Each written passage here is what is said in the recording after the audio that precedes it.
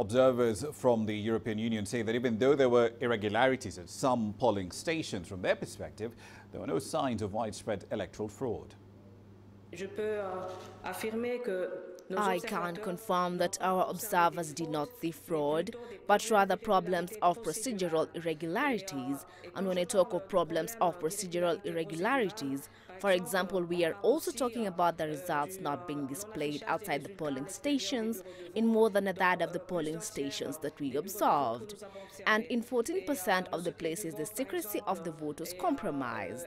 It related mainly to the unsuitable positioning of voting booths in the polling stations.